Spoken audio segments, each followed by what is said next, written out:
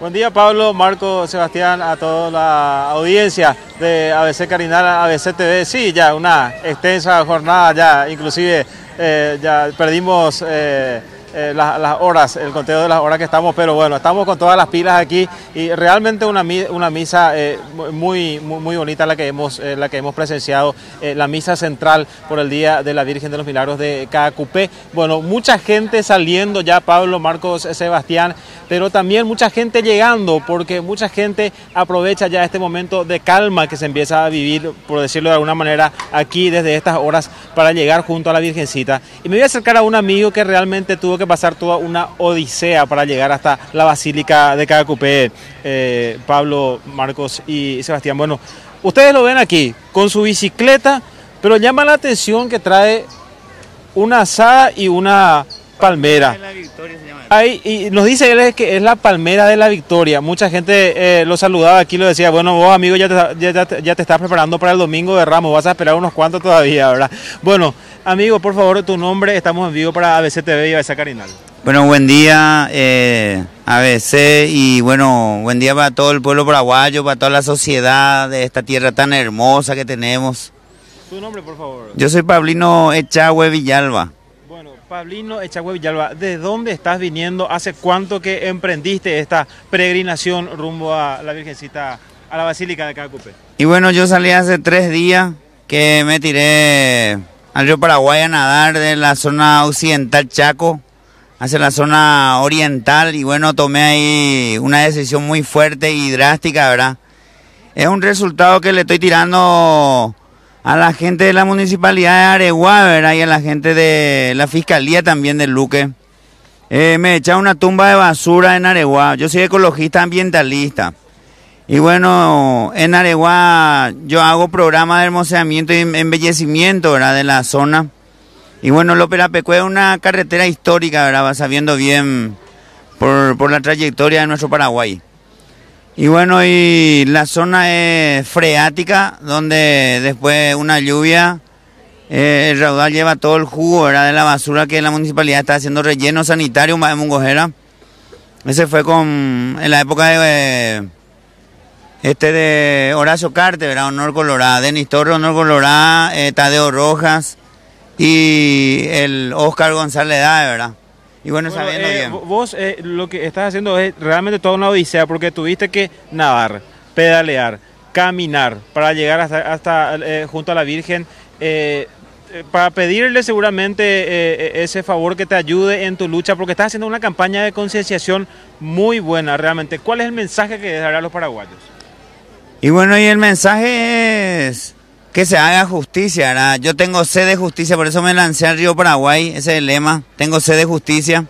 Y bueno, este es el resultado que eh, le di, ¿verdad? A este nuevo gobierno también y al pueblo paraguayo como un sacrificio, sabiendo bien que agua, el río Paraguay es río Paraguay, ¿verdad?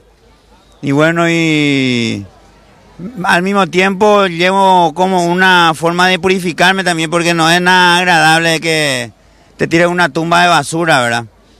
Y bueno, y pasaron tres años, 2016 eh, fue eso. Y yo estoy plantando todo flores areguá rumbo a un gran festival por el acuífero guaraní ahora, ¿verdad? Bueno, defendiendo la naturaleza, entonces eh, llegaste aquí hasta la Basílica de Cacupé. Fuerza amigo, muchas gracias, y bueno, que, continúes con tu... Eh, ahora quiero que a veces color esto sí, ahora porque ahora me estoy yendo hacia Ciudad del Este para pasar el río Paraná, nadando también. Y bueno, yo me voy detrás de un gran festival por el acuífero guaraní.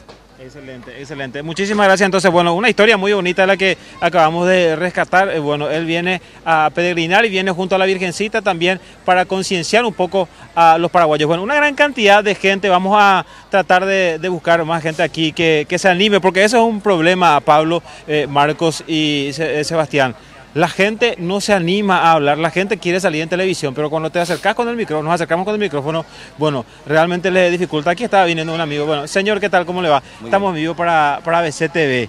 Muy colorido, ¿ustedes están llegando o ya hace tiempo que, están por aquí por la Basílica? Y siete años consecutivos estamos. 17 años consecutivos que estás, siete, siete, que estás peregrinando, pero ahora estás llegando recién. No, ya llegamos a, ya, de ¿Escuchaste la humildad de Monseñor Valenzuela? Sí, muy bien, muy bien. Bueno, ¿qué podemos rescatar de esa humildad?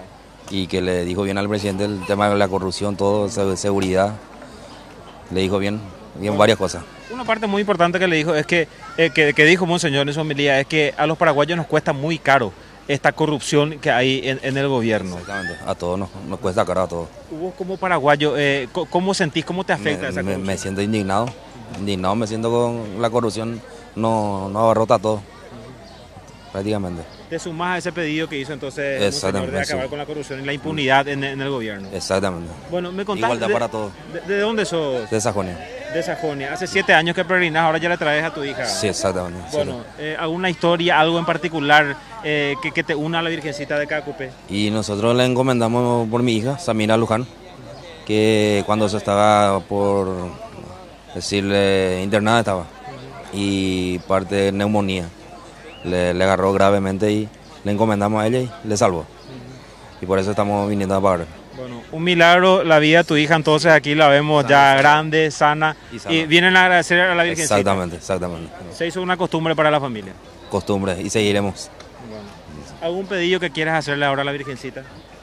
Y salud para todos.